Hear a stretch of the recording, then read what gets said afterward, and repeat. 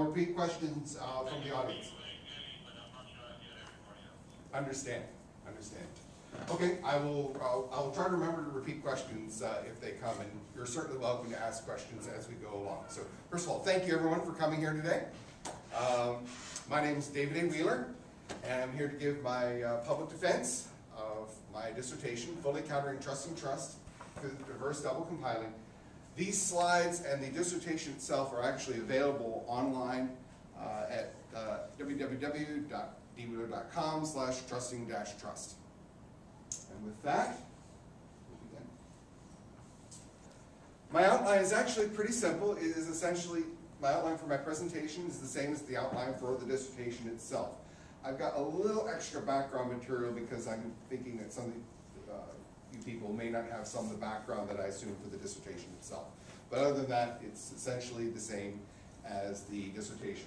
And basically, what I'm going to be trying to demonstrate in this whole presentation before I go into the details is there's an attack called the trusting trust attack. It's a computer-based attack. And historically, it's been considered essentially uncounterable. There are, there are not very effective techniques for countering this attack. I believe I have a countermeasure called diverse double compiling, and I've, my dissertation involves describing it, showing that it works, and demonstrating it. With that, move on. So let me start a little further back here. Let me start with the ENIAC, which is operational in July 1946. This is a picture of only part of the ENIAC here. It's widely considered to be the first general purpose electronic computer. Uh, the challenge with the ENIAC was that it was programmed by patch cables and switches. Can see these wires here. This is how you would program the ENIAC. Incredibly painful to program. It would take days to change to a different program. This is a picture of the Manchester Small Scale Experimental Machine, often nicknamed Baby, that's what I'm going to call it here. Uh, it was operational in June 1948. And this is considered to be the first stored program computer. A stored program computer is where the memory, where memory is used both for programs and for data. And this was a major step forward in computing. For one thing, you could easily reload programs. Instead of having to take days to rewire, you could just load a program the same way you would load data. Even more intriguingly, a computer could generate computer programs, which leads me to the need to define some terms. First of all, some data inside a computer program can be executed. You can, it's a program and you can run it. And we're going to call those executables, which are simply data that can be directly executed by some computing environment. Could be a real one, could be a virtual one. Uh, sometimes these things are called binaries. But these are rather painful to work with directly. So typically, when people write programs, they write, use, uh, write programs as source code. Source code is also data, but source code is some representation of a program that can be translated somehow into an executable. Now this implies that I'm going to need some way of translating source code into executables. And that's what compilers are for. Compilers are simply programs, or executables, that translate source code into an executable that a computer can actually use. Now, a compiler may have other inputs, but the fundamental issue I want to point out here is source code input producing executables output. Now, this has, compilers are great, very, very helpful. However, although they ease development, uh, they also in, introduce some risks that were only revealed later. I should note, by the way, that I'm trying, I'm defining compiler very, very broadly. As long as it translates source code into executable, it's a compiler. If it's mostly a one-to-one -one relationship, many people call that kind of compiler an assembler. As far as I'm concerned, it's a compiler. It may do many other things, doesn't matter. As long as it does as at least one of its jobs, translation source to executable, it's a compiler. Now, what is this risk that I alluded to? Well, let me move towards that by first defining some additional terms. Let me define the term corrupted executable. Corrupted executable is an executable that does not correspond to the source code it's supposed to correspond. Remember, you're translating source to executable, well, that, for some reason, that may, translation may not be entirely accurate. And this is a, a more technical term, term, here which defines what the heck I mean by corresponds. Um, I'll just read this. An executable E corresponds to source code S if and only if the execution of E always behaves as specified by source code S when the execution environment E behaves correctly. Technical definition, but fundamentally, this just defines more precisely what we would mean, uh, intended uh, by intuition. What's a maliciously corrupt executable? A maliciously corrupt executable is a corrupt executable that was intentionally created. And intent is uh, an important point here, and I'll come back to that later. Now, all right, we could have corrupted executables, but we could find them just by recompiling and checking if the resulting executable was the same, right? And if it's changed somehow, then I've got a problem. Well, unfortunately, that's not always true. And this starts to lead us to something called the trusting trust attack. What happens if the compiler itself is maliciously corrupted? And now we have all sorts of problems because we're we are using the compiler to translate source code into the executables, but executables are the only thing the computer actually can execute. So what the human sees and what the computer actually executes could be different. In general, you can have completely trustworthy source code and end up with corrupted, maliciously corrupted executables if the compiler itself is maliciously corrupted. For example, I could have some really critical, important program. It might be the login program for a computer. It might be a control system for a dam. But it could be really important. I run through the critical program, and now it does something different. Something the malicious, some, whoever created this maliciously corrupted uh, compiler in the first place could make it do, in theory, anything. But that's, you can say, well, okay, I'll just analyze the resulting executables. Well, where do those analyzers come from? Well, somebody had to write that analysis program, and then you ended up compiling it. And this means that, in fact, what the analysis program shows you may not be what you actually intended for it to be. But it gets worse. And here's the real nasty part of the trusting trust attack. Um, how do you create compilers? Well, the short answer is you have a compiler source, you run through a compiler, you produce the executable. Now, wait a minute. The compiler can corrupt itself.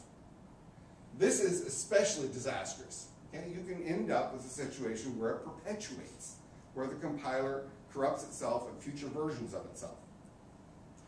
This was first noted in 1974 in a security evaluation by Karger and Schell. This is actually the evaluation of the Multics operating system. And they were actually rather coy in how they described it. I talked with Karger in 2005 about why they did that. Basically, most of the other attacks that they could that they found, in fact, all the other attacks that they could found, find, they could see how to deal with them. You know, they're an implementation error. You need to get it fixed this is a problem with the design, we need to tweak or change the design a little bit. But when they identified this attack, they couldn't figure out how to counter this one. This was very, very fundamental. In 1984, Ken Thompson, who's also the developer of, of Unix, actually demonstrated this attack. He actually subverted the login program, the symbolic debugger, and in his case, the C compiler, and demonstrated that indeed you could do this. And what's more, he sent it to another group inside Bell Labs and they never detected this particular attack. Now he is he has said, and I have every reason to believe him that it never went outside into the real into the outside world. Um, but the fact that this was done and handed off to another group which who never found it suggests that this is not just you know, something that might that might could never really happen. It's, somebody's already done this. You know, a good guy in this case, but nevertheless, this is clearly a possible attack. This is a fundamental security problem. Now, I'm going to, here's a technical definition of the trusting trust attack. Again, I'm just going to read it off. What's a trusting trust attack? An attack in which the attacker attempts to disseminate a compiler executable that produces a corrupted executable. At least one of those corrupted executables is a corrupted compiler, and the attacker tries to make this self-perpetuating. So, now, some people have said, well, gee, there are lots of other attacks. Why worry about this one? Well, it's certainly true that there are lots of other attacks. Um, and I don't mean to say that those other attacks are unimportant. They are very important. However, as I hinted at earlier, if you list out the different kinds of attacks, we generally have countermeasures for those other attacks. And let me just point out a few. You know, certainly what happens often today when people attack computers is they find and exploit unintentional weaknesses in some existing program. Certainly that's a problem, certainly, but we do know how to at least start countering that. We search for weaknesses ourselves and fix the problems before they go out in the field uh, modify designs to reduce impact, and so on. Um, perhaps the attacker will insert weaknesses or attacks into the program code itself. Well, that's certainly a possibility, but you can have other people review the source code and hopefully find that problem. You could modify and replace the executable, but not use the trusting trust attack. Well, we could regenerate the executable and repair. But when you say, well, what about applying the trusting trust attack? There really hasn't been an effective defense, and that's what makes this problem important, is that there hasn't been an effective uh, detection or countermeasure. Uh, which leads me to this. You know, why is this important? It's the attack that can't be countered. And it's not just that people think this is so, but people have tried for decades. This has been known about for decades. Not much has been written, and what's there hasn't been really very effective. I've even got a citation in my paper where somebody says, well, computer security is hopeless. even if I counter all the ones we know how to counter, here's one we can't counter. Um, and I believe their attackers are going to have incentive to use this at some point if it's uncounterable. Uh, we have potentially huge benefits. If you can control the compiler, you can control, control all the software that runs through it, that's compiled with it. Uh, the risks seem to be low, at least until now, undetectable. And the costs seem to be varying, but in many cases low to medium. Uh, granted, that varies by circumstance, but even if it's high, if the benefits are high enough and the risks are low enough, I think it's reasonable that someday somebody's going to try it. Um, in fact, in this year, there's already been one example of a subverted compiler. You can argue some things about it, but you, there are, and, and of course, in 1984, Ken Thompson did it. So it's not that it can't be done or it's too hard to ever do in practice. That's not true. All right. Um, I'm starting to wind up my background, but I do want to introduce a few more related background issues. Um, first of all, simple solutions are ineffective. A lot of people, when they first hear about this attack, they say, well, gee, it can't be that hard to counter. I'll just do this. Oh, wait a minute, that doesn't work. And, and if, you do, if you have that kind of mental process, you're like a lot of other people. A lot of other people, when they first hear about this, say, oh, it's got to be counterable. And the easy solutions don't tend to work. Manual analysis, even if you move it to a completely different system and you're not worried about the analysis systems being subverted, the size of modern compilers makes it very, very hard um, to manually analyze executables of, of serious scale. Uh, some people say, well, I'll just use an interpreted language. That just moves the attack position. Because an interpreted language has to be implemented by something. And sooner or later, you have to get down to a place where it's implemented by an executable running on a computing environment. Almost certainly that's going to be compiled, and it brings you right back to the trusting trust attack. Draper and McDermott in 1984 have probably the closest to countermeasures for this, for this thing. Um, they talk about using paraphrase compilers. Uh, the, the trouble with this is that there really isn't any way to know if their technique actually succeeded. And depending on how you apply it, you can actually insert the attack instead of removing it, uh, depending on how which compiler you use and so on and so forth. Uh, and so really these aren't very effective. Now you could prove a compiler's executable is completely correct. And I certainly would encourage that kind of research. That's very neat. There has been some work in that area. I see some shaking heads. It's very hard. It's very hard. And then you have to ask questions, gee, what about my tools? Uh, the tools to do proofs at any serious scale start to get a lot more complex, sorry, complex than a lot of compilers. So I, I would encourage analysis and research in compiler correctness, but frankly, what I've, uh, the technique I'm going to describe works well with those. If those become effective. All right, the compiler bootstrap test. Um, the compiler bootstrap test is a common test for de detecting compiler errors. I want to make it clear that the compiler bootstrap test is not the same as the DDC technique that I'm going to be describing, but there is some relationship to it. It's sort of an inspiration for it. Um, it's formally described in Garrick 1999. It's of course been known much, much longer than that. Um, the text down here is a long amount of text, but let me just this is shown graphically with this little picture. The idea is you start with some bootstrap compiler and some source code S of another compiler, well, possibly another compiler, and then compile it three times. And assuming certain conditions are true, the results of the second and third compilations are supposed to be. If they're not equal, then some assumption is wrong, and usually the assumption that's wrong is the source code was right in the first place. So this is a useful test on whether or not a compiler is correct. Okay? A correct compiler should pass this test. However, an incorrect compiler can also pass this test, and in particular, uh, corrupted compilers, maliciously corrupted compilers even can pass this test. So this is not a test to counter the trusting trust attack.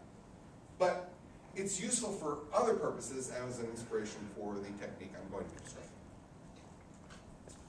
All right, I had a lot of additional background here, hopefully to get people up to speed with at least the kind of problem I'm trying to address and some background material related to it. So now, having given that background, the thesis of this dissertation is as follows. I'm just going to read this straight. The trusting trust attack can be detected and effectively countered using the diverse double compiling DDC technique as demonstrated by three things. A formal proof that DDC can determine a source code and generate executable code correspond. Two, demonstration of DDC with four compilers. And three, a description of approaches for applying DDC in various real-world scenarios. This dark blue highlighting here basically describes the rest of my presentation, and really the rest of the dissertation as well. I'm going to be describing the trusting trust attack just a little bit more, although we've already seen a lot of that. Uh, a little bit more about the DDC technique, and then a formal proof, demonstrations, and some discussions about real-world scenarios. So with that, uh, we've really already talked about what the, what the trusting trust attack is, and indeed the trusting trust, the motivation. But let me point out a little bit further about the trusting trust attack that I think is important to know. Uh, three terms, triggers, payloads, non-discovery. Basically, triggers and payloads, frankly, these are generic terms for any attack, okay? A trigger is simply a condition determined by the attacker upon which the malicious event is to occur. And the payload is what happens when the trigger occurs, okay? Uh, and finally, non-discovery. It's really important in the trusting trust attack, the victim doesn't know that his compiler's been subverted. If the, if the victim knows that their compiler is subverted, and particularly can detect how, then they can go back and use a different compiler or do different approaches. And basically, the whole game in, the trusting trust attack depends on this inability to be certain that you've discovered it or not discovered it. All right, chapter four of the dissertation provides an informal description of diverse double compiling. This was not actually my idea. I do want to give credit to someone else. Uh, Henry Spencer created the original idea in 1998. Now his description was a few sentences long. I've gone way beyond what his original idea was. Uh, and I've extended it in various ways and so on. But I do want to give him credit for the, for the original idea. And his basic idea was, gee, maybe we could use a different compiler, what we'll call a trusted compiler. And I put an asterisk there because we're going to have to define that word trusted very carefully in a moment. But just hold on to that thought for a moment. We're going to need to define that term. Then we're going to use two compilation steps. We're going to compile the source of what's called the parent compiler. And then after that, we'll use the results to compile the source of some compiler under test. This is the compiler. The compiler under test is the one we actually care about. If the DDC result is bit for bit identical to the compiler under test C sub A, then the source and executable correspond. We don't have the trusting trust attack. The source and executable correspond. Now, it's important to know that the DDC approach cannot show that the program is perfect or non-malicious or anything like that. What we can show is the source and executable correspond. Um, but that, that is a very, very useful thing to know because once I know the source and executable correspond, I now can go examine the source code, which people are used to doing. This is, this is in fact what source code is all about, is, is making it easier for humans to develop software. And makes our problem much, much easier. We've fundamentally changed the nature of the problem. Now, Henry had this idea, a couple sentences, but he never examined it, never justified it in detail, never tried it, certainly never proved it. So I took this idea and ran with it. Um, and I've actually had some email conversations over the years as I've gone along with this too. Uh, so he's, he is well aware of this. So, I've given you verbally a very brief description of what DDC is about. Let me show some graphs that hopefully will kind of clarify this a little bit. And it may be easier to clarify this by first thinking about how was the compiler supposed to have been created in the first place. This doesn't mean it was created this way, but at least how was it supposed to have been created. Uh, this is what I call the plane origin. Somewhere there was almost certainly a grandparent compiler. We can talk about there are some exceptions, but usually there's a grandparent. And it is used to compile the source, what I call S of P, the source of the parent compiler and I produced some compiler, and then I used that parent compiler to compile the compiler that I actually cared about, which has another source, which I'm calling S sub A, and then that produces another compiler, and that's what I call C sub A, the compiler under test C sub A, which is supposed to correspond to the source code S sub A. Now, with that, What is diverse double compiling? Well, it looks a whole lot like that, claimed origin. The big change here, at least one of the probably most fundamental change, although there are other possible changes here too, is that that grandparent has been changed to a trusted compiler. And I still feed in source of the parent and source of A, and then I still produce an executable. Um, and then once I produced through this DDC process, I then can do a comparison. Is this equal to that? If they are, and certain other conditions hold, then the source and compiler correspond, otherwise they don't. Now, I'm being a little, uh, superficial is the wrong term, but I'm, I'm omitting some important issues. For example, there are many different possible environments. There's no requirement that this environment and this environment be the same, or the same for these two. And environments can have inputs into compilations as well. Uh, random numbers, thread scheduling, that sort of thing. Nevertheless, um, uh, and I have to account for those things when I get into the formal proof and prove this thing correct. But uh, I don't want this additional detail to confuse you. The basic idea is that this trusted compiler is replacing the grandparent compiler, some other things, and then, well, these are supposed to be equal. Now, let me give some informal description of the assumptions of this. First of all, I'm assuming that DDC is being performed by trusted programs and trusted processes. And that includes not just the trusted compiler, which I'm calling C sub P, uh, but I also need trusted environments, a trusted comparer to make sure that things are bit for bit equal. And I need to be able to make sure that when I get C sub A, S sub P, and S sub A, that I get those in a trusted manner. Now, I hinted that the word trusted was really important. So now I need to define that term. By trusted, I mean there's a justified confidence that whatever it is that's trusted does not have triggers and payloads that would affect the results of DDC. What's interesting here is I don't require them to be non-malicious. It's perfectly okay if they're malicious, as long as they don't affect the DDC results. Because I'm only using them in the DDC process to make certain claims. Uh, that's actually important because it's a whole lot easier to say, well, if they're malicious, it's probably not malicious the same way. And I'll talk more about that in a moment, but uh, in a later chapter here. Uh, I am also assuming correct languages. Hopefully those of you who are familiar with compilation, I mean, this is, I guess, almost obvious, but I should at least mention, if if you've got uh, a program written in the Java language, you have to use a Java compiler, and so on. Um, I also require that the compiler defined by S sub P is deterministic. The same inputs always produce the same outputs. Uh, and real compilers generally do meet that criteria. I mentioned earlier the bootstrap test. The bootstrap test also requires determinism. And a lot of people like to use the bootstrap test, and therefore it's a, and even if they don't want to use the bootstrap test, if a compiler is not deterministic, a compiler can be written to be non-deterministic, it's much harder to test because that means that every time you run the compiler, it'll produce the same result, different result with the same inputs. That is much harder to test, um, and therefore real compilers do tend to meet this criteria. Now, I get the same comments over and over again every time I give this presentation or people skim my paper, uh, even though I've tried to make it very clear, there are headings specifically pointing this out. So let me be very, very clear. DDC does not presume that different compilers produce identical executables. In fact, in general, though, that isn't true. Generally, different compilers typically produce different executables. That's okay. However, let's go further. Let's give let's look at this C program. It's a very, very trivial C program. It just computes 2 plus 2 and prints it. Okay? About as simple as you can get. And now imagine I have two different compilers that process this input, and both compilers are properly working C compilers in a proper environment, and so on. The resulting executables of those two different uh, compilers will almost certainly be different. I use two different compilers, I send it the same input, but there's no requirement that the output be the same. However, when I run those two different executables from those two different compilers, I better see four produced from both of those executables. Because two plus two really is four, and that and the C standard basically requires that I be able to do this kind of calculation correctly. Therefore, you know, presuming certain assumptions like the environment is working correctly and so on, even though the, a compiler may produce a different executable than another one, when I run them, there are certain things that have to be the same. And my situation with compilers is more complicated than that, but hopefully that gives you an idea of, of the approach I'm taking. Now, there's a special case.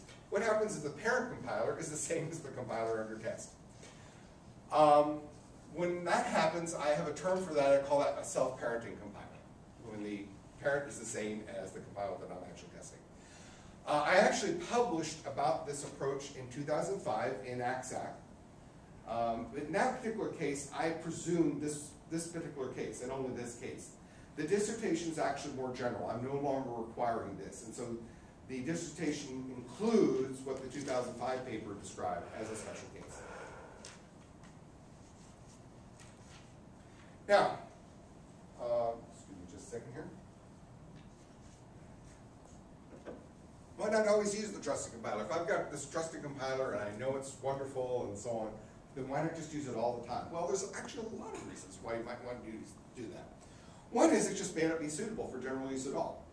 Uh, and I've given a long list here. Maybe slow, produce slow code, produces code for a different CPU than the one you wanted, costly, maybe it has some undesirable license restrictions, maybe it's very limited, lacks some key functions you'd like in your real compiler.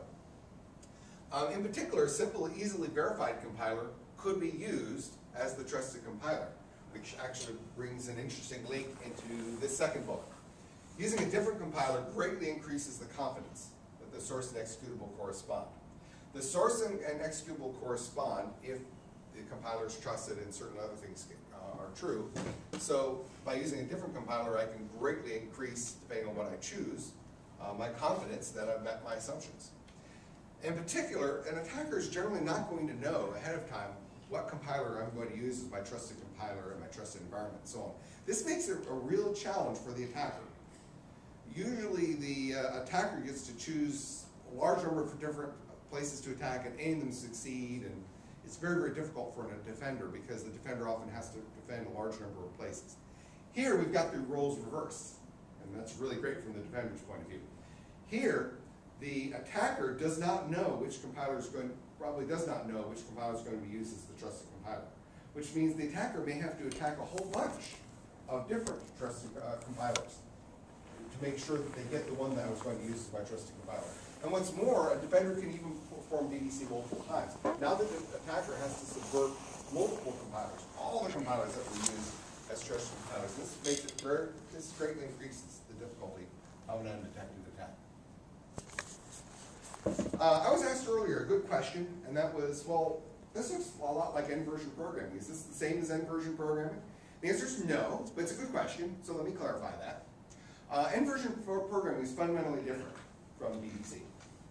Um, in DDC, oh, sorry, in N-version programming, the idea is that you start with a common specification, and then you have multiple programs implement that same common specification.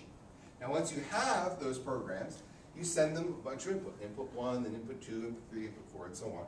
And then you can look at the outputs, input one, two, three, four, and the same for the other programs. I'm showing n equals three, but could be an arbitrary number. And then you can compare the outputs. Output one should all be the same because they all got the same inputs and they're all trying to follow the same specification. Uh, un unfortunately, what was found in a very interesting paper by Knight and Leveson is that the uh, independence of errors doesn't, doesn't hold. What's that mean?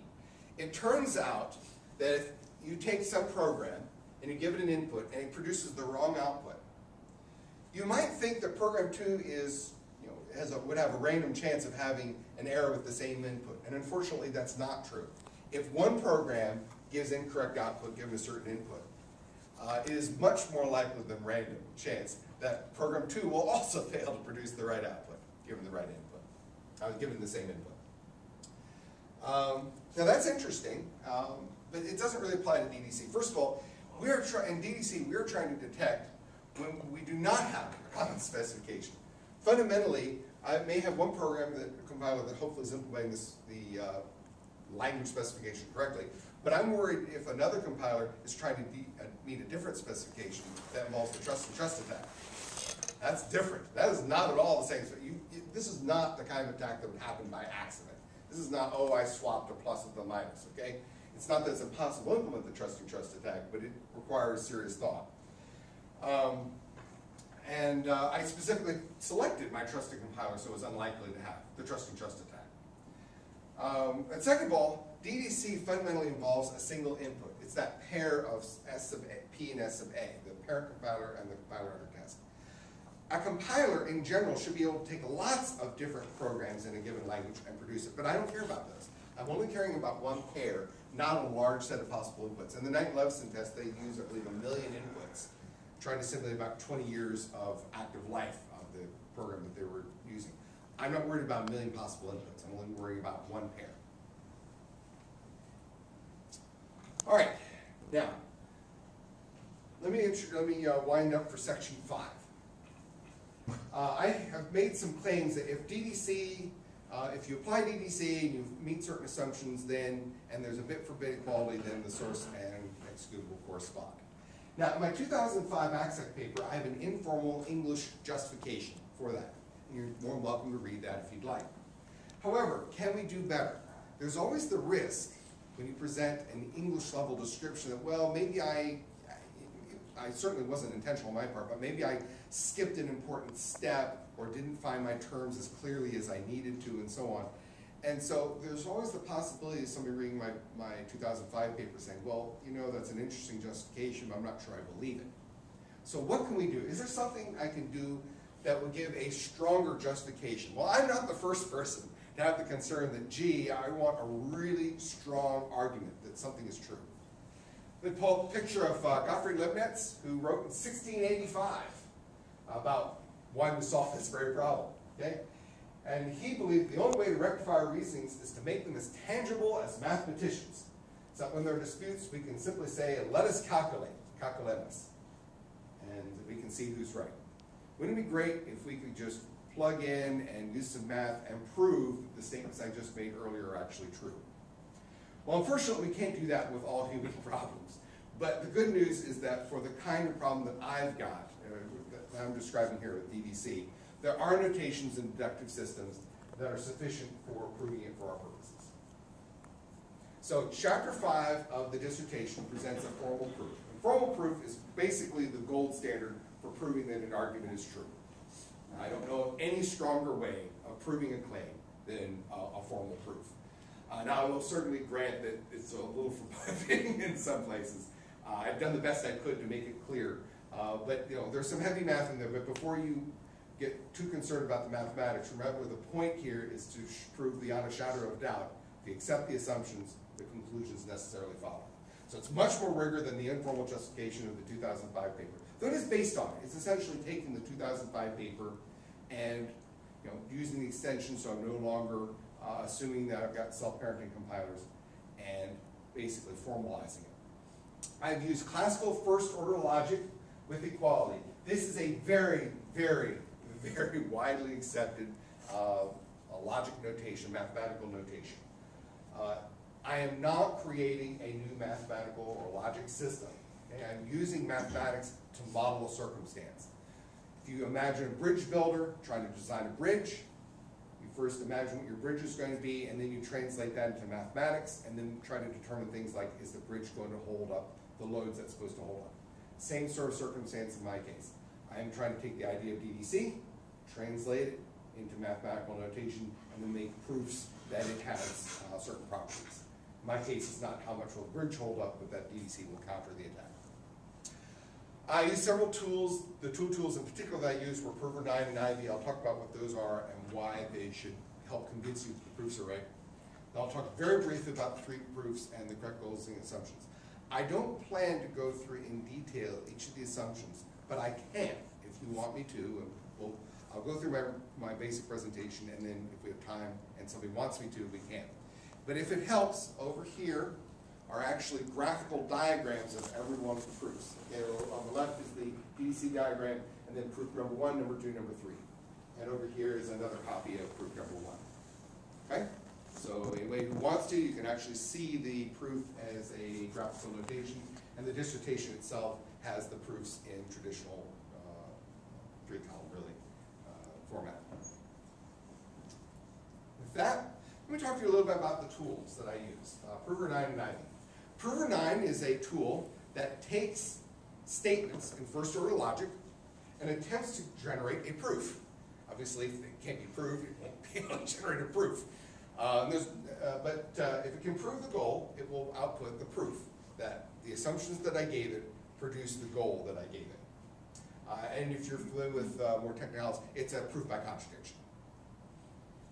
Uh, DDC was then modeled using first order logic, and in particular using Prover 9's representation of first order logic. Uh, and uh, then I actually managed to prove the three things I need to prove. Ivy is a separate tool that can verify Prover 9 proofs. One obvious question is, I use a computer program in order to generate proofs. Well, what happens if a program has a bug? Well, that's a valid concern. So um, my approach to counter that is I used a completely separate tool called Ivy. Now, Ivy can't create proofs. But what it can do is check each step and say, well, okay, this step to this step, that's okay. This step to this step, that's okay. And so it can verify that a proof generated by prover 9 is correct. Uh, Ivy itself has been proved using ACL 2. Okay, it's actually been a formally proved, it's a formally proved program that's been proved uh, be accurate, uh, correct, I should I, Prover 9, Ivy, and ACL 2 are all open source software, so they're available to review by the world. Um, and I should also note that proofs also have been hand verified. I've actually walked through, walked through every step. Some coworkers of mine have walked through every step. Um, you know, and uh, basically all of that provides really, I think, excellent evidence that these proofs that, that are graphically shown on the walls here are accurate. Given the assumptions, the conclusions must necessarily follow. I've got original original program, so I don't have to worry about manual error. If the program in error, I've got program after program backing me up, and in addition, we've got hand checks. Uh, I really believe the conclusions must follow. Yes, sir? Did you verify the source to binary mapping for those tools? I did not do that. Um, but you know what? I, but I did use diversity because Ivy and uh, Ivy and ACL 2 are completely separate programs. So while it's not diversity in the DDC sense, I do have a diversity of different tools checking. And besides all that, as I said, I've actually walked, walked through these myself. Unlike an executable, the, reason the trusting trust attack is so nasty is because it's very, very difficult. It's completely impractical, I'll argue, for real compilers to be hand analyzed, you know, line by line in their machine code. Okay? Can you do it conceptually? Yes. It's very difficult. This is different. Okay? Um, people can eyeball these directly, and I have, and other people have. So the trusting trust attack doesn't really apply anyway because as soon as you analyze it line by line, and you can practically do that, well, then you've analyzed it directly. Uh, let's see, whoops, I've gone backwards here, sorry. All right, so what are my three proofs? Question. Yo, yes, please, sir. Sorry, um, No problem. the ACL two proof of Ivy, is that a proof of the Ivy specification, or is it a proof of the Ivy implementation? Ah, I know that's not your dissertation, but I'm. Yeah, it's, it's not my dissertation. Um, it's actually an interesting, I, I'm, I'm gonna have to give you a, a, the actual answer is convoluted, so how do I make that simple? Um, the, the, the short answer is that, um, uh, Ivy is written in, um, the ACL two language, which is essentially a variant of Common Lisp, okay? And ACL 2 can prove properties of its variant of Lisp, which looks a whole lot like Common Lisp. Okay? Now, what it's going to prove, it's going to prove things at the S expression level, actually. Okay? Um, is that source, is that binary? I, I'm going to argue that it's probably really the source code level. Um, but that's, that's where it is. Okay? As I said, you know, there's a valid question about, well, how do you believe them? Well, if nothing else, you know, I've hand checked them myself, so, and other people have too. And in fact, you're more than welcome to go look in each of these steps, and I can explain what they all involve, but that's actually why I'm listing these, so you can actually, if you want to, verify for yourself. So, let's get back to the three proofs here. Um, oh goodness, clock's an hour off. All right, proof number one. There are three proofs in chapter five. Okay? The first proof is essentially the heart of this entire dissertation. Okay? Uh, and I'm going, I'll just read this text out. Proof number one says that if DDC produces the same executable as the compiler under test, which is C sub A, then the source code S sub A corresponds to the executable C sub A. This requires five assumptions and took 19 steps for uh, Prover 9 to prove this. Uh, in first order logic, this is what it looks like. Stage two is the result of DDC. And what this says is that if stage two equals CA, that implies that CA and SA exactly correspond. Now, of course, uh, well, we got another one over here, so we even have a diversity in posters. Um, all right, uh, now, these additional parameters deal with environments and languages and so on, but fundamentally, that's what this says. Now, originally I thought that was going to be the only thing I needed to prove, but as I got into this, I realized that no, I had another proof uh, that I needed to make. You see, um, it's perfectly possible in mathematics to prove something of the form of if A then B, but A could never occur. It's perfectly possible to prove things like if 1 equals 0, then 5 equals 6. But that's not enough. I want to be able to prove that this technique actually works in the real world. And so as long as I just left it here, that didn't show that it could actually happen in the real world. So I need to be able to prove that there are conditions where this could actually hold. Turns out that's actually more complicated to do. It took, it required nine assumptions and 30 steps to prove that claim.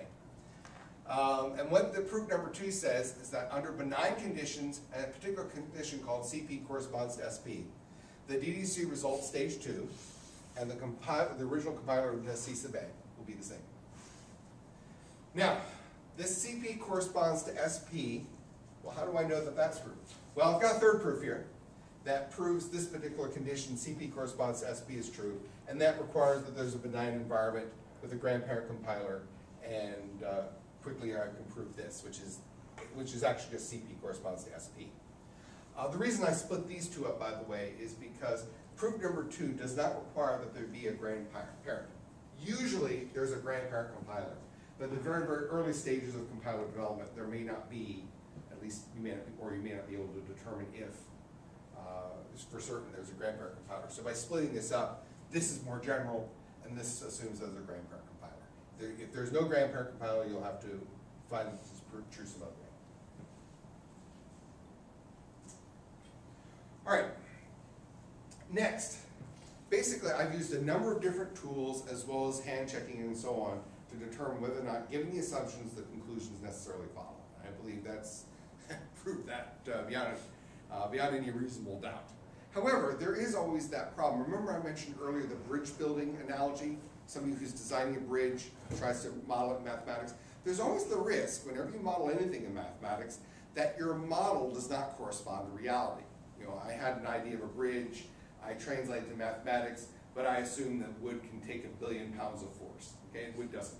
So, you know, I can make assumptions in my mathematical model that are not realistic in the, uh, are not a realistic representation of the real world. So how can I have some confidence that my mathematical representation, my assumptions and goals, are a, ro- are a, an accurate representation of the real world? Obviously, I can't show that formally. I can prove certain things are true, but I can't prove that the math is an accurate representation of the real world.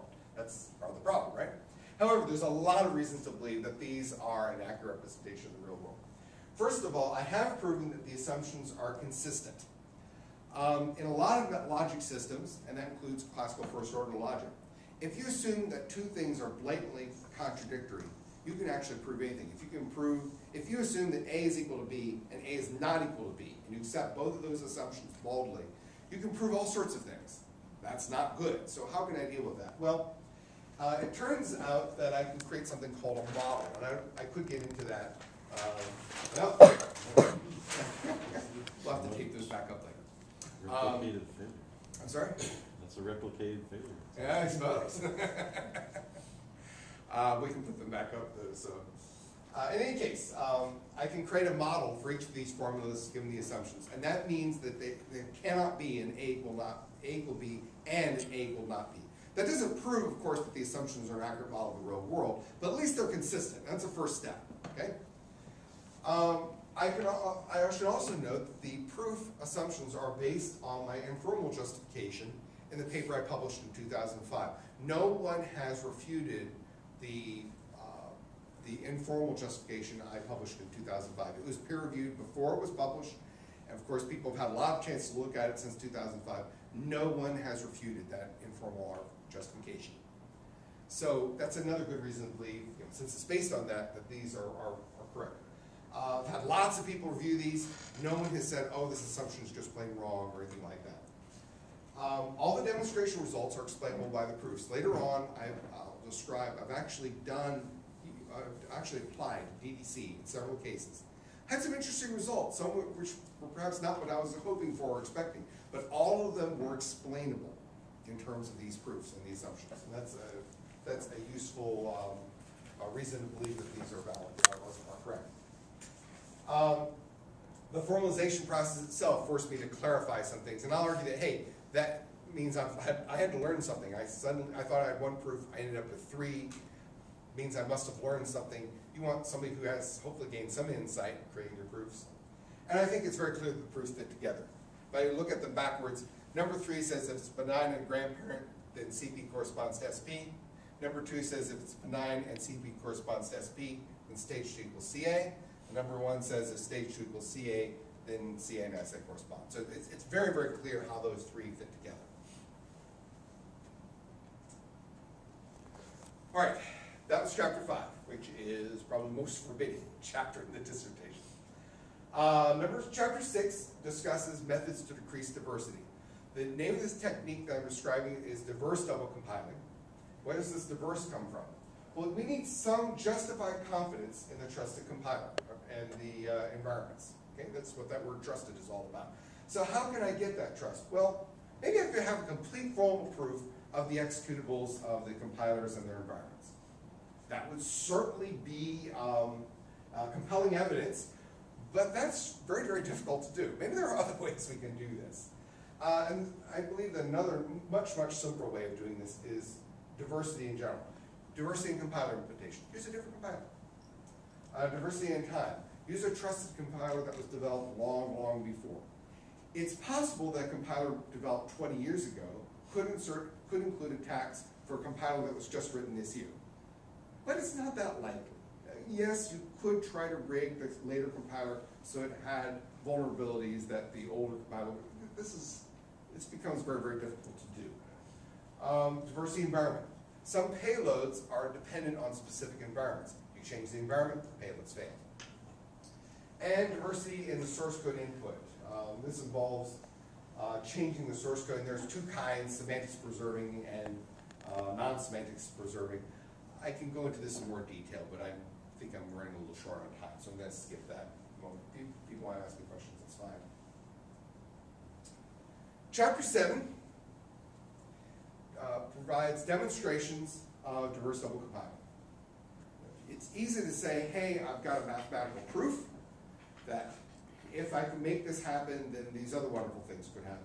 But that doesn't show that you could do it in the real world. Just because you can show that certain conditions could happen in mathematics, that doesn't mean it's practical on the real world, you know, given limited resources and of time and money and so on. Well, I've done DDC uh, four times.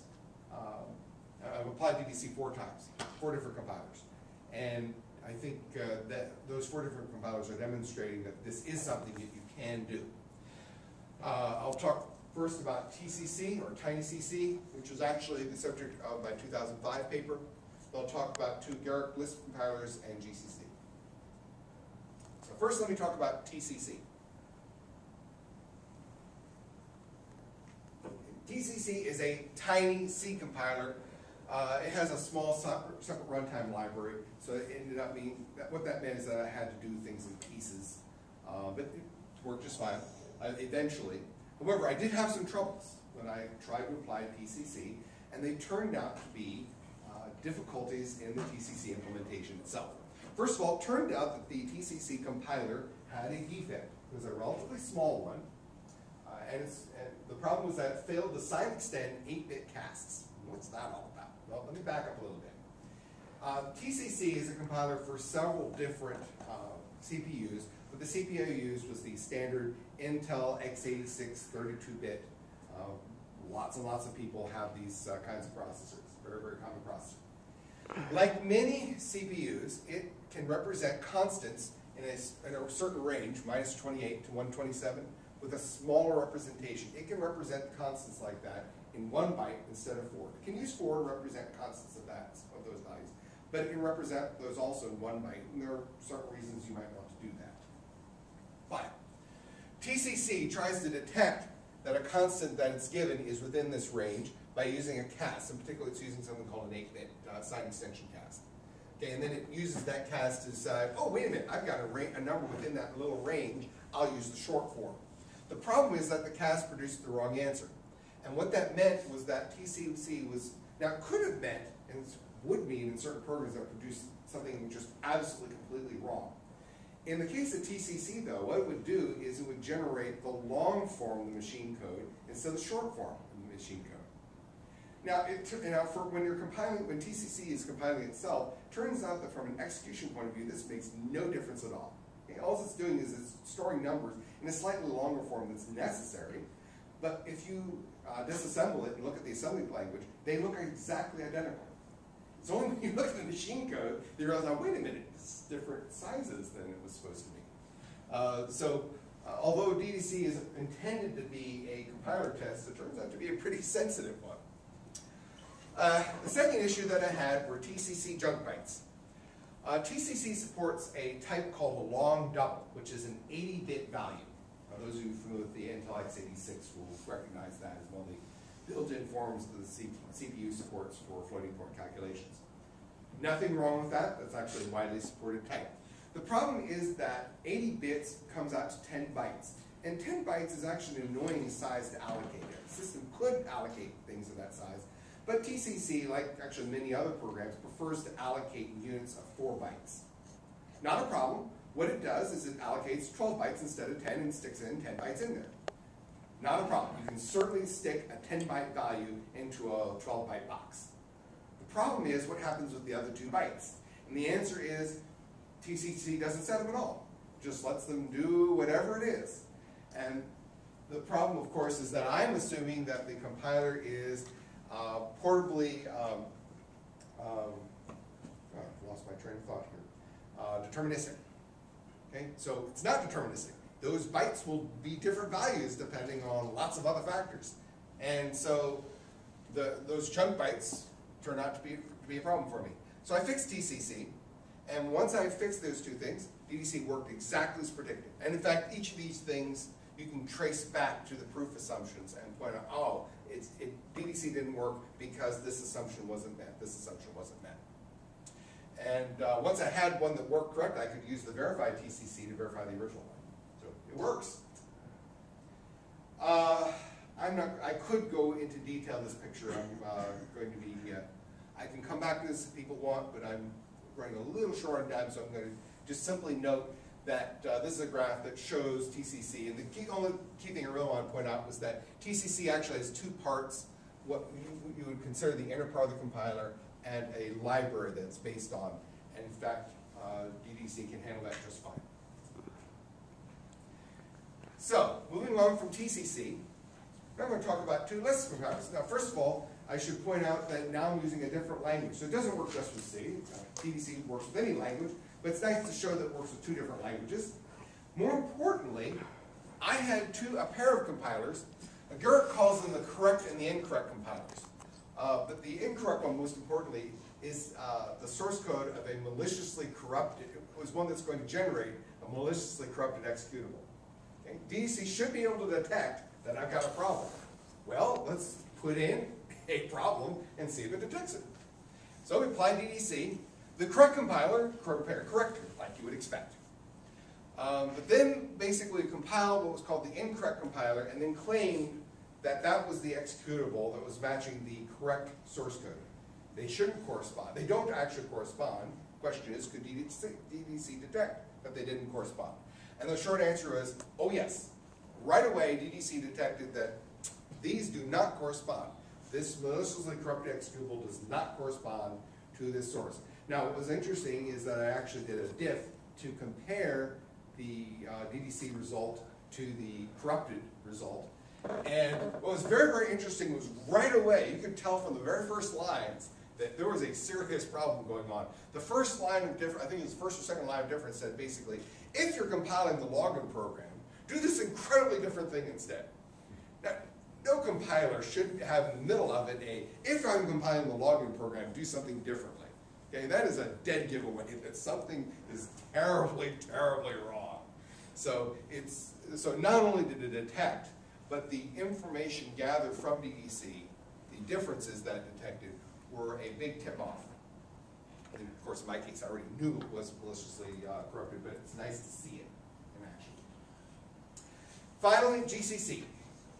GCC was the GNU Compiler Collection. Well, one time it was named the uh, GNU C compiler, but now it's called the GNU Compiler Collection. It's a very widely used compiler in industry. And I applied DDC to GCC to show that DDC could scale up to real compilers. TCC and the correct and incorrect compilers I just showed you are basically toy compilers. It's, they're, they're great for research tests to start out on, but they don't show that this thing scales. Here, if I can apply it to DDC to, DDC to GCC, then I know that this approach can scale up to real birds, because people really do use the GCC compiler widely. Now, GCC supports a wide variety of languages. Uh, in order to make this something I could do in my lifetime, I, you know, I've tried to narrow this down. So uh, I narrowed it down specifically to the C compiler. For my trusted compiler, I use the Intel C++ compiler, ICC, which, uh, in spite of its name, is also a perfectly reasonable C compiler. It's a completely different compiler. Um, if I was going to do, use this to show GCC was, was completely um, uh, free of malicious, or correct. If I was going to use this to show GCC source and executable corresponded, I would need to talk more about how do I know that ICC is completely independent, but purely to show scale, I don't need to go into that. Uh, originally, I was trying to use Fedora uh, to um, regenerate the actual executable that they had in their system. Turned out I couldn't do that uh, for an interesting reason. Uh, Fedora, uh, like a lot of folks, uh, turns out, doesn't store quite enough information to exactly reproduce its compilers. I found that a little surprising, but when I talked them further, uh, it made some sense. So instead what I did is I basically simulated the whole process so that I could capture. I basically simulated creating a GCC executable, and then I, I applied DDC to see if indeed they correspond.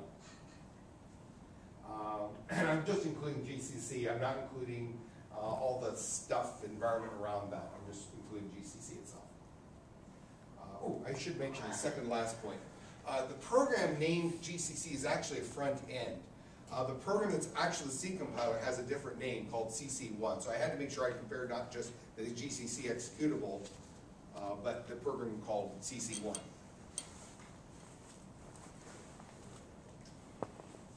Okay, uh, a very, very simplified form, what I did first of all is I created a GCC executable for which I had all the information I needed. Okay, um, uh, it was GCC 3.0.4. Doesn't really matter for my purposes which version it is. So I had an executable for which I had all the information about how it was compiled and so on. And then I applied DDC and tried to regenerate to show that these two were equal. But now I'm using the trusted compiler ICC. In my particular case, I'm using self-regeneration, um, which is a perfectly valid thing to do in. Now, it turns out that I had a lot of trouble, and I, these slides are short, but they belie how much time this took. Uh, GCC is a big compiler. It's not a five-line compiler at all. Okay, so finding problems and finding out what exactly the issue is was made larger because of scale. Nevertheless, I was able to I was able to succeed here. The First problem I I had was that embedded in the executable itself is something called a master result path name. When GCC is compiled, it uses an intermediate temporary director to store all, all of its results. That's fine, no trouble with that. What's odd is that this particular path name is actually stored in the executable itself, even though later users of the executable, why would they care where it was stored? Well, they may not, but it's in there. And because that's one of the inputs to the compilation, I have to, um, I basically have to make that match. Okay, this is the kind of detailed information that I need to be able to reproduce uh, our correct compilation. There was actually an interesting uh, tool semantic change. When uh, in GCC source code, it has uh, a number of build commands. One of them says tail plus 16 at C, which is supposed to mean skip 16 bytes and then, then uh, start reading the values. Unfortunately, more recent versions of POSIX have changed the meaning of this. Now this means read file plus 16C, which doesn't exist. So I had to handle some, I had to set some environment variables that would, that would basically make tail work the old way. That's fine, okay. Um, these are annoying details, but you've got to get these things right. And finally, GCC did not fully rebuild one of its key built, one of its libraries. It includes a library.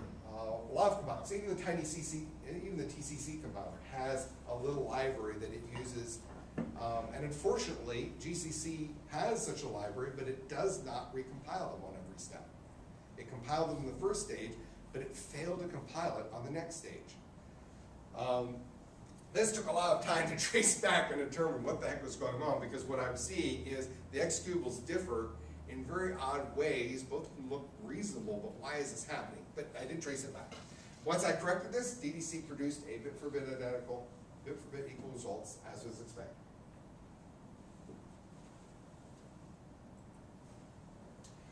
Chapter 8, practical challenges. First of all, I should note limitations. Every technique has limitations. That's okay. It's important that we know what they are. Uh, and here's some of the key, here's what I believe are the key ones. First of all, this depends on confidence in, in uh, that the DDC process elements don't intrude triggers and payloads. In other words, you've got to trust your compiler, you've got to have a trusted compiler, trusted environment, and so on. Okay? Uh, I've harped on that earlier, but that's important. DDC only applies to a specific executable under test. Okay? I can say that this source corresponds to this executable. I've got another executable. Does it correspond? I don't know. I'm going to have to redo this test, okay, or, or find out what's going on. This is not a problem really for software. You just need to use cryptographic hashes to identify what do you use to test, okay? Just, um, the source code may have malicious code. All DDC shows is that the source and executable correspond. But I've changed the nature of the problem substantially. Now, I only have to look at the source code because I know the source and executable correspond. That's much easier to do. If the DDC result is different from the compiler under test, at least one of the second proof's assumptions are wrong. The second proof says that given certain assumptions, the DDC result and the original compiler test will be equal. That means that if they aren't equal, at least one of those assumptions is not true. But that does not tell you which one is not true. And so sometimes it can be a little difficult to find out which, you basically have to gather more information to find out, okay, one of the assumptions isn't true, which one? Uh, I mentioned non-determinism already. There's also difficulty in finding alternative trusted compilers. Some languages, it's very easy to find alternative trusted compilers. If it's a very unusual language, you may have difficulty. You may have to write your own compiler uh, to have that trusted compiler. Um, there's also an interesting issue of countering what I call pop-up attacks. If you use DDC and you say, okay, this source and this executable correspond, well, that's useful information. But it's awful tempting for human nature just to keep moving and not apply DDC to later versions of the executable, okay? If you apply DDC to every executable and make sure it corresponds to its source code and so on, there's no trouble. But if you are, like far too many human, well, if you decide, well, I did this test a long time ago, okay, and I'll just not do it for a long time, and then later on, you know, um, I'll assume that some later version is okay. Well, it turns out that there's all sorts of attacks you can do if you don't check every executable. The simple solution, by the way, is just use DDC for each one, and then the problem goes away. But if you if you check a long time ago, and then there's versions that happen since, if an attacker gets incensed, they can of course do uh, do harm. Excuse me. Uh, a compiler can actually have multiple components inside it. It's not a problem. TCC and GCC both had components inside them. Uh, DDC doesn't have any trouble with this. Uh, for lack of time, I'm going to be skipping uh, these, but I'm, uh, I, I could talk more about these if I wanted to. I, I should note um, uh, maliciously misleading code though. Uh, one of these, DDC can show you that source code and executable correspond, which means I can now read the source code and see whether or not it's doing malicious thing. Now, there is a possible, one thing you can, can be concerned about, excuse me, is what if I read the source code, but what I think it does isn't what it really does?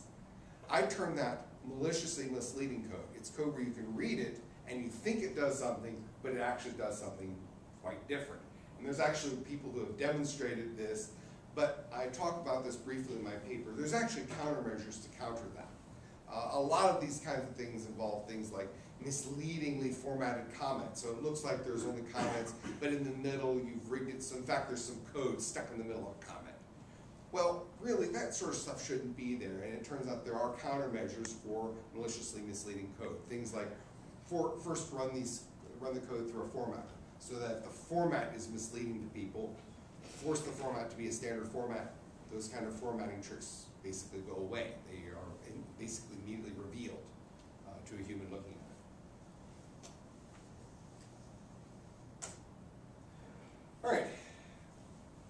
So how could an attacker counter DDC? Let's switch hats for a moment. I've been talking about it from the point of view of the defender, which is my interest here. But let's switch roles and think about attacking this thing from the point of view of an attacker. Uh, I'm nearing the end, by the way, of my uh, slide set here. Um, how can an attacker counter DDC? I've- Somebody has a compiler, I want to create a maliciously corrupted executable out of some compiler. But my, the defender is now using DDC. What can I do? Well, basically, I'm gonna have to falsify DDC assumption. I've got mathematical proofs that say if these assumptions hold, this result must follow. So that means I'm gonna have to falsify one of the assumptions of DDC. Um, unfortunately, that does, these aren't that easy to falsify. Well, unfortunate for the attacker, that's unfortunate for the defender. Uh, one thing the attacker could do is he could try to swap the DDC result with C sub A during the DDC process. In other words, have the DDC of the person applying diverse double compiler go through the entire DDC process, create an executable, and then just before he does the comparison, swap out the correct stage two with the compiler under test. If he can do that, well, then he's going to be uh, comparing the maliciously corrupted executable with the maliciously corrupted executable and find they're the same. The challenge, of course, is that the, presumably the de- defender is going to defend the environment used by the DDC. So, could this happen? Yes, it could, but presumably the defender is going to be defending the environment used during DDC. So this isn't easy to do. I'm not saying it's impossible, but it certainly isn't easy. Um, I could also try to make sure that the compiler under test is not the compiler that's actually being run. Okay, well, how, but the defender has techniques that they can apply as well. First of all, let's say the environment, there's two basic, two basic possibilities. The environment may provide an inaccurate compiler under test, okay? So maybe I, when I say I want to extract the compiler under test to be used in this DDC environment over here, maybe the environment gives him what should have been running, but of course the environment doesn't run that program, it runs a different program. Well, the, the uh, defender can extract it without using the environment. Maybe you turn off the system and you uh, examine the disk drive directly or whatever your storage medium is and extract the compile the executable directly. And that would help counter this, but then we have this issue. If the environment may run a different compiler, then the defend, then what can the defender do? Well, this, this is a, this is a, this is a bad one. However, what the defender can do is redefine the term compiler. Remember I mentioned earlier, the compiler has to at least compile source to executable. But it can do other things too. I can actually redefine compiler to include not just what we would normally call a compiler, but the entire operating system. Now, what does that mean? Well, uh, now it's got to meet all the DDC conditions. Now I have to have the source code of the operating system. All right, and I have to be able to recompile it. These are not impossible conditions to meet. And that mean, and if you do that, then this plays havoc from the attacker's point of view, because now I'm applying DDC, he's got to subvert something that I didn't include in my now enlarged definition of a compiler. This gets harder and harder to do. Uh, finally, I can, uh, you know, I as the attacker, again, I'm switching roles here, I can try to subvert the trusted compiler and the trusted environment. But as I, as I hinted at earlier, the challenge for the attacker is that usually the attacker doesn't know what compiler will be used as the trusted compiler or trusted environment. And that means the attacker is going to have to subvert a whole bunch of trusted compiler, whole bunch of compilers, hoping that the defender will happen to choose that one. That's a difficult road to go. Uh, in fact, the defender can apply DDC multiple times, and that means that the, um, excuse me, that the defender has a serious advantage here. This is the advantage usually the attacker has. Usually, as I mentioned earlier in this presentation, Usually the attacker can attack a number of different places and the defender has to defend them all. Now the attacker has to attack multiple compilers and the defender only has to pick at least one of them that wasn't uh, wasn't subverted. So for once, the defender gets the advantage. I won't say for once, but all too, the defender gets the advantage that all too often the uh, attacker gets. So, my conclusions. In conclusion, DDC can show that source and executable correspond. Executables can, can have errors, could even be malicious, but these can be found by examining the source code, and that's much, much easier, as I've harped on several times. I think it's very, very important. It shows a correspondence, but knowing that there's a correspondence is very valuable. DC is primarily useful to those who have access to the source code. Now, This actually gives us some advantage to open source because this means anybody can do this kind of check. Um, now, there's some interesting policy ramifications for compilers of critical software. Um, should you require, if you're writing critical software, the information due DDC? I think that's, I think that's a plausible thing to consider. You know, require the use of unpatented language standards so that I can easily redevelop alternative compilers because I need another compiler to use as my trusted compiler. So the more likely it is that I'm going to have multiple trusted compilers that I can easily use, the easier it is for me to apply DDC. And there's all sorts of potential future work that could be done with this. I compiled GCC. There's no reason in theory you couldn't enlarge the definition of compiler to include an entire operating system, say, and go through that. I don't, I didn't need to do that for this dissertation, but that certainly would be plausible future work. And with that, I believe the trusting trust attack can be detected and effectively countered by DDC. And that is my last slide. Okay, very good. So we're gonna start the questions uh, from the committee first, and then we're gonna open questions to the audience. Great. So, Jeff, would like to start? Okay. I saw I answered one of my previous questions on the slide a couple slides ago. That, that- that was not by accident. It was a good question, so. Well, thank you, appreciate your affirmation. Uh, when did you start first at George Mason? You mean as an undergraduate? Yeah, Eighty-seven. eighty-seven. Eighty-seven. I've been here a while. And when I first came here, Patriot Circle wasn't a circle, it was a C. They did have the name, so they didn't plan for it to be a circle, but it didn't go all the way around. Uh, When did you start your master's? Oh gracious. I'm gonna have to look that up, I'm sorry, it's been long enough, it's something like ninety-four, something like that, maybe.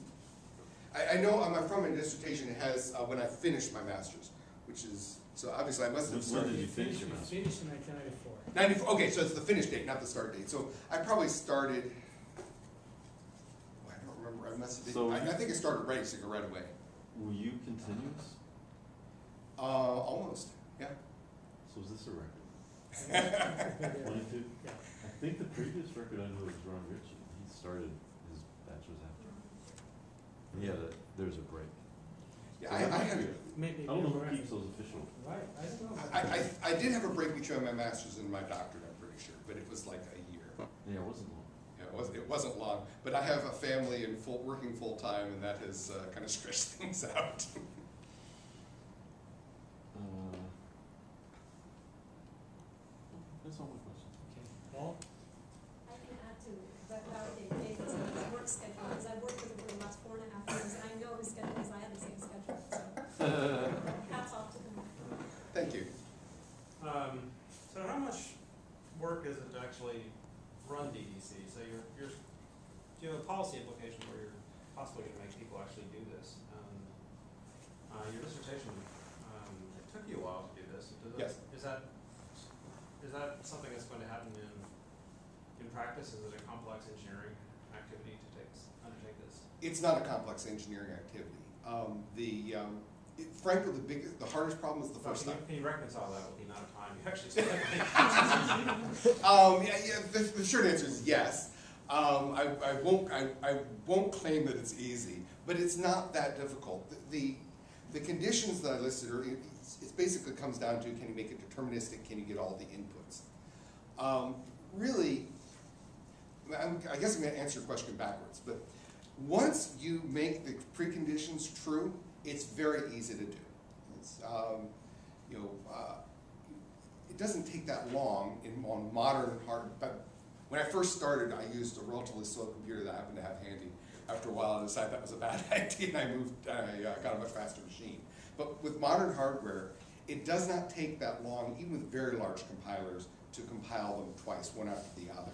I've got a wonderful cartoon somewhere about, you know, the length of time that it takes to compile, but um, it's not that long. The real trick is making the preconditions true, and the trick with that is, is tracking back to find out what the problem is. I will say that now that I've done it, I got better at it. And I think that um, the problems that I listed in my paper for the particular uh, examples are actually good examples of the kinds of things to look for. 'Cause Now, now that somebody's done it once, these are the kinds of problems to look for, and it'll be a lot easier for the next person because now they have an example of the kinds of things to watch out for, to look for. So I, I I won't claim it's easy, but I, I will claim it's not that difficult. And once you do it, a compiler developer, I'm sorry, compiler supplier can fairly easily keep these assumptions true. Because the kinds of assumptions you want true anyway. You know, Does the compiler correctly compile itself? Can it work deterministically? And really, a compiler supplier is going to want those to be true. And if it's not true, they're going to want to fix that, and then it'll be true from there on. Well, let Um, me ask things this. that- Okay, go ahead. Let me ask the same question just slightly differently. Sure. This, this problem was posed back in the days when, you know, the number of languages you wanted to compile was probably countable on one hand, um, or two hands. It was back in the mid eighties, so people worried about PL one and C and C and Fortran. Mhm. Uh, software development is wildly more complex now. People build software with hundreds of and tools. Um, I does this, does, does this technique actually, it, it's much more complex now in terms of the numbers of tools you use to build software. Okay. Uh, Does this technique sort of scale to that kind of environment? I think the short answer is yes, it does scale. Uh, I remember that environment since I was there too. Um, it wasn't as, simple as I, it wasn't as simple then, if I remember correctly. I mean, it, there was not one language to rule them all then either. No, but it was Uh, a small number. A relatively small number. Um, I think that maybe. I think that although there's, there's a very, very large number of languages available today, when you start asking, well, what are the ones I'm most worried about? What are the situations where I'm really worried about attacks? The number of languages used in those kinds of circumstances is much smaller. Whether you like it or not, C is commonly used to develop the most low, the lowest level kernel components of operating systems and kernels. You have a certain relatively small number of other languages used. Um, we can quibble a whole lot about the numbers, but I, I think that for many cases, even if we don't do it for every single language that's in existence, we can point to here are the ones that are most critical, and I'll worry about the compilers for the languages that are used there. And, you know, maybe I will never get around to proving the compiler that was used to create the dancing bears, but so? Okay, I'll worry about the one that controls the dam, that controls the nuclear power plant, that controls the nuclear weapon. And, I believe that that set is a much smaller list. If for no other reason than the people who build those kinds of systems tend to be very conservative in the languages and tools that they use, particularly for the core But, components. but the flip side of that argument is people are moving those kinds of critical applications to web platforms, for example. Maybe they shouldn't, but. Well, they, yeah, but that's, that's okay. Um, in a lot of cases, though, they tend to use the web applications for more of the GUI and user, user interface, and there's often some sort of core which says, I don't care what the user interface says, I'm not gonna blow up while I'm still sitting on the platform. So even if the core, the, the web app is too complicated to apply this way, I'm not sure that's true, but even for the moment I accepted that was true, I still think there are core components for which you know, I wanna make sure those are right, I I wanna make sure the compiler doesn't subvert it, and I have a relatively small number of languages that I need to check. Uh, Actually, uh, let me just piggyback on the question that uh, Dr. Ammann just asked, or what you. Um, After your experience with applying DDC to four compilers, do you believe that you will be able to write, uh, let's say, quote unquote, complete guidelines for compiler uh, vendors to build com- compilers that are Oh. DDC friendly? Oh, how'd you know? Yes, I have thought about that. I have not written them, but oh yes, I have. While you're doing this, you can't. you can't help but think about, at least from the other direction, the, why did they do this to me? It would have been so much simpler, you know, in the case of GCC. Why the heck did you include, in the middle of the executable, this path name? The only thing it's doing for me is causing me pain, okay? Maybe there's a reason for it, but I've talked to several folks, and, well, actually, there's, it was just, nobody's given me a good reason for doing it that way. If they wanted to store that information, they could have stored it without putting it in the executable itself. So, um, I have not written it, but it certainly has crossed my mind on a number of occasions, at least from the point of view of, oh my gosh, I wish they hadn't done this. So I think if nothing else, I can list the, this caused me trouble, this caused me trouble, in a broader, more positive way. Um, and it really, as I said, the, the prime conditions, compiler are the kinds of conditions that compiler supplier will want anyway. Compiler supplier is gonna want their compilers to be deterministic. They're, too, they're really hard to test otherwise. They're going to want the compiler to compile itself correctly. Okay, um, so, you, uh, the TCC, for example, pointed out a problem that the, later on, developers actually fixed. The- But, uh, that's the sort of thing that they would want to fix, of course. So it may be a pain the first time because, oh, I found this very subtle error in your compiler. And then that takes time to track down what the problem is. But once fixed, they're going to want to keep that fixed. Um, Can we rely on DDC to detect uh, compiler bugs? I mean, the unintentional errors that result in unfaithful translation? Okay, can we rely on, can we rely on DDC capturing um, unexpected bugs? To rely on, no, okay? DDC is not intended to be a proof that the executable is correct. If you want that, there are a lot of books on proving your program's correct. I encourage you to go look at them. You're, of course, you're very, very well aware of the challenges that you're talking about. It, like, and it is, from that point of view, it's really like any test, okay? If I take a, if I take a simple program, remember my very trivial simple C program that added two plus two and hopefully prints four? If I send that into a compiler and it prints five, I may not know why it's wrong, but I know it's wrong, okay? But if I send that into a compiler and prints four, all I know is it worked that time. It doesn't show that the compiler works in all possible scenarios. And the same is true for DDC. DDC actually is rather sensitive. It manages to detect a large number of kinds of errors. Basically, what's going to detect is if the uh, trusted compiler, it's actually, what it showed, the text is actually very complicated to say. But it's basically the process of DDC uses a different trusted compiler. And if the trusted compiler has a different semantic than the grandparent compiler, and it goes through, then you're going to detect a difference in semantics.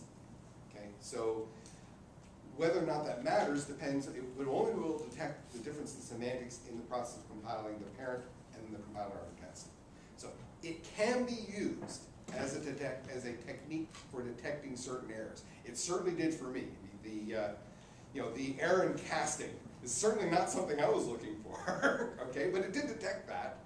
Um, and then I have to de- deal with that. So it is able to detect certain kinds of errors. It's a somewhat sensitive test for errors, but it cannot detect all errors. For that, I'm afraid you'll have to use other techniques.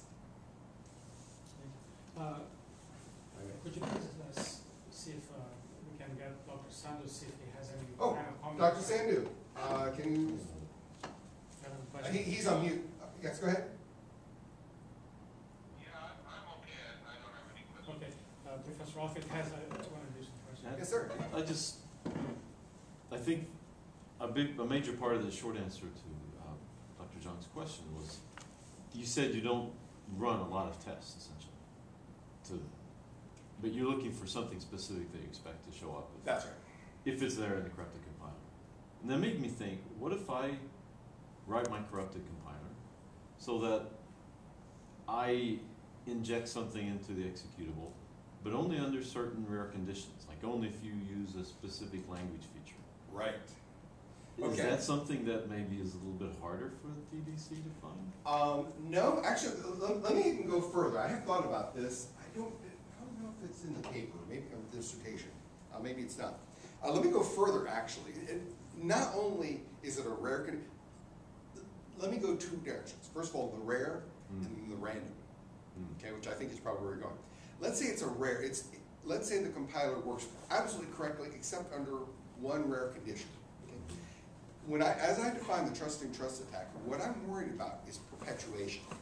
So the case that must occur for the, the case that makes me worry, because if it's not, if it doesn't self-perpetuate, it'll just go away as I keep modifying the compiler. So it's gotta at least involve the compiler. Otherwise, it doesn't self-perpetuate. But the compiler is the very input I'm using to test. So even if it's such a narrow condition that only a previous version of the compiler Mhm. would have been affected, that doesn't matter. That's the only input I'm using. So even if it's incredibly rare, it won't matter.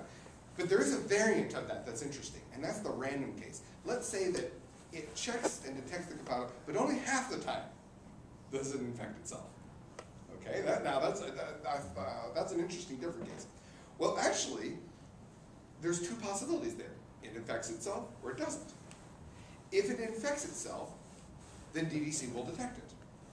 If it doesn't infect itself, then it basically is removing itself. And then, first of all, DDC will correctly report that it's not there, because it's not. And from then on, future versions won't have it either. So even if the original one was randomly uh, malicious, DDC will still correctly report either, I got a good version, in which case I've got a good version, or it's not, and I can point it, point to it. So essentially, you have one test case, That's right. that's the compiler. That's right. And But that's the one, only test you case that matters. By definition, it's the only one that matters. So it's Which very, why very it's different. not really good testing tool either, because it's not sampling from the input space. Um, if you, if you're looking at it from a broad testing, oh, I completely agree. This is not intended for general purpose testing of a. I'm worried about the trusting trust attack, and so this counters that. If you want general purpose test suite for compilers, I'm afraid you'll have to go somewhere else. It's not a bad test, and it did text, detect some problems, but that wasn't its purpose. It's just interesting to note that sometimes it works as that kind of situation as well, but that wasn't its purpose. So I'd like to open the floor for questions from the audience. Yes, Jeremy? David, great, great uh, work. I I think it, uh, I had an opportunity to hear you today. Um, Two questions. The first one is, is um, if you're going down the road and you see a cop car, you can naturally slow down. Uh, I'm sorry, can you repeat again? If you're going down, driving down the street and you see a cop car, you naturally slow down. So I'm wonder, what I'm wondering is if you're compiling the compiler and it is able to detect that you're in DDC mode, can it silently not do anything? And, and there are ways to detect presumably that you're using it for DDC purposes and thereby escape the detection. So that's my first question. Okay, let, let me answer one at a time, because my, my brain can only hold so many things at one time. So let me answer that one, and then, uh, if this is a two-part, we'll go on to the next one. Um, basically, the question is, what happens, if, can I detect I'm in DDC mode and do something different? Well, really, this goes back to, remember, I defined earlier what I required for DDC, okay? I'm requiring a whole bunch of trusted components, and it's not just the compiler. I am requiring the compiler and excuse me, the environments that I use be trusted as well. So I am presuming that they don't have a, a counter DDC mode, okay? But, uh, for DDC purposes, it's not going to detect, at least for compiling this particular one that the compiler has I'm worrying about, it's not going to do something weird and different. Now, what about the compiler that's attacking? Well, it's, I'm, remember, I'm not trusting that at all. It could be dirty as sin, but all I'm caring about is I'm going to acquire the compiler to test and use some different, well, possibly different environment that I trust that's then going to do the uh, recompilation and comparison. So if, if you're worried that the environment might subvert it, don't use that environment. Use a different one. In fact, I have, uh, I managed to acquire, for example, several really old SGIs and some other random machines under the presumption that you, if I ever wanted to go further on this, it might be very, very interesting to have really different environments than the one that I'm testing. That is extremely unlikely to have attacks against the system that I'm testing because it is so different. A different CPU, developed at different time, different organizations, and just highly unlikely to have those kinds of attacks. I would recommend if you're applying DDC, don't have it connected to a network. Okay, I mean, for, for research purposes, I mean, it's fine, but, but if you're doing this for real, commercial environment, uh, or, you know, some sort of environment where it's really critical they get the DDC result right, you know, disconnect it from a network, use a really different machine, harden it up, you know, put walls around it, whatever, whatever makes you comfortable that indeed it's protected. Okay, So hopefully that answers your first part.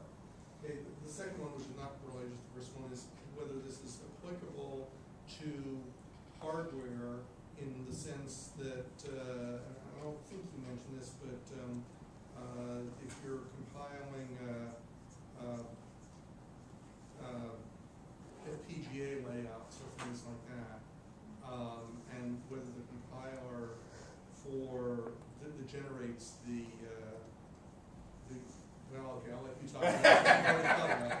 Okay. Okay, I anticipated. Uh, If, those of you who have the uh, paper handouts, I've got a couple extra handouts if you'd like up here. Um, uh, This is actually a question that uh, I, I, I- that's easily anticipated, partly because the Reflections on Trusting Trust paper, uh, this was a speech originally by Ken Thompson, did mention uh, hardware as well. Um, There's actually a whole lot of answers to that. The short answer is yes, but I'm gonna have to extend it a little bit, okay? So, let me, uh, let me walk through, the question is, what about hardware? Can DDC apply to hardware? The short answer, yes, but here's the longer answer. First of all, if it's BIOS or microcode, fundamentally, it's still software, okay? It may be represented in a slightly different way, but it's fundamentally software, you handle it the same way. No, DDC applies trivially to those. DDC is completely unnecessary if what you're trying to counter is direct subversion of the hardware components, not trusting trust attack. You know, I grab an integrated component, an IC, and I just stamp onto it some malevolent subversion, okay? I, it's, you know, that's not a trusting trust attack in hardware. I'm just subverting a piece of hardware. Um, and so you don't really need DDC for that case. There are other ways to deal with that, but DDC isn't really what you need. Now, what is, what, when you say hardware and trusting trust attack, what does that mean? That means you've got hardware that has been subverted in such a way that it intentionally subverts the implementation of other software or hardware. Now, once you have hardware subverted so that it subverts other hardware and software developed using it, now you have a trusting trust attack, and now it makes sense to apply DDC. I think you can see already that that's actually not so easy, particularly for a lot of hardware.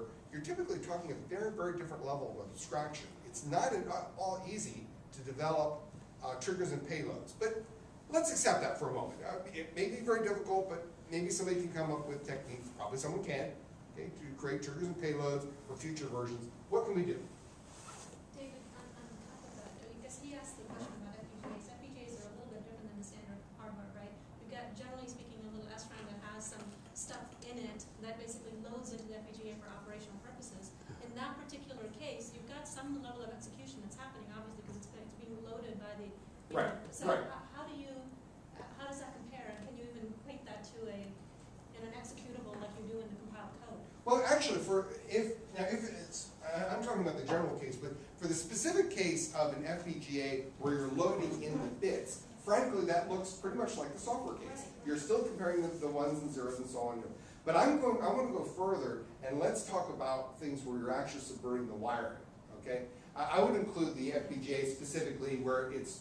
It's, different FPGAs work differently too. So let- let's. But, but let, let's talk about the case where the actual wiring is getting changed, okay? And it's getting changed in such a way that we're going to subvert future versions of the wiring, okay? And that's where this, uh, this slide uh, talks about here, okay? Can I deal with stuff that's truly hardware? It's not software or software-like, it's, it's hardware. It's I fiddled with the wiring, I added something so that I ended up with something subverted. And it's going to subvert future versions of hardware software. Well, turns out you can apply DDC in this case, but there are some tricky complications, and I do talk about this in the dissertation. First of all, it requires a second implementation as a trusted compiler. Remember, I've got to, I have to have a trusted compiler, okay? Now, it depends on what, what you're worried about as your tool. Uh, you may need an alternative hardware compiler for your um, uh, VHDL or whatever. You may need simulated chips and, and simulators. You also need a quality test. Now, the first one's not so bad, but this one is more difficult, and I won't, I won't, there's no point in lying. This one is probably the challenge from hardware, is the equality test. Now, how the heck do I do quality? On software, it's really easy. I check my bits. I'm not worried about the exact voltage level that's being used. In fact, that probably varies over time. Um, I'm only worried about one and zero. For hardware, um, I've talked to a number of folks. I, I actually have a double E degree, so I, I have some clue about how this stuff works. Um, But uh, I've also talked to some other folks who've looked specifically at this, and I've speculated that scanning electron microscopes, uh, STEMs, focused ion beams, optical phase array shifting, there are various techniques for getting information, very detailed information about a chip, its wiring and so on. And I believe that that would give you enough information to implement an equality test.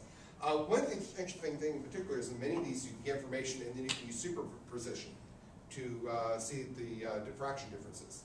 Now, problem with that, particularly the diffraction technique, is that may give you information the wrong, you may get way more information than you wanted, okay? It would be very easy to create false positives. You know, the real physical world is not ones and zeros. Every real chip is going to be slightly different if you look at it in enough detail from every other chip. And you've got to be careful to make sure that, figure out which differences matter and which ones are just minor variations that are true for any manufacturing process. This also requires that you know the correct result. And this turns out not to be a technical problem, but a very serious legal impediment. It turns out that often the cell libraries that are provided to engineers are not what are actually used on the chips.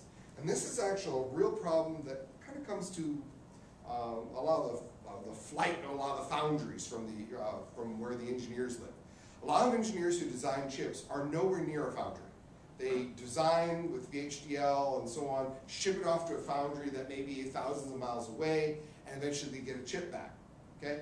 They have no idea what's on those chips. And what turns out is that increasingly what's on those chips is not what they designed at all. And that's expected and normal. And why have, you know, why don't they know that? Because they don't need to know that. All they know is their tool works and they get a chip back. Uh, but what is actually put in their chip often is not the same. The real libraries are often highly proprietary. Um, when I was involved in, in uh, Double E, usually at least you knew, if you were designing a chip, you knew it was on your chip. That's not true anymore either. In many cases, a single chip is, represents what used to be an entire integrated circuit board. And may, and so a chip may have different components from different manufacturers. And the other folks don't know what, there isn't any one person who knows everything about that chip. In fact, they're not allowed to legally know what's on the chip. That makes it really, really difficult. Uh, another interesting problem is uh, quantum uh, effect error corrections. Um, some modern chips have just, it kind of blows my mind, the scale of these things now. Um, again, you I guess I've been around too long. Uh, but uh, when, I was, when I was involved, uh, when I was in the double E here, when I got my double E degree, um, they didn't have the kind of scales they deal with now. In order to produce chips at the highest densities, you typically have to go in and correct for quantum effects.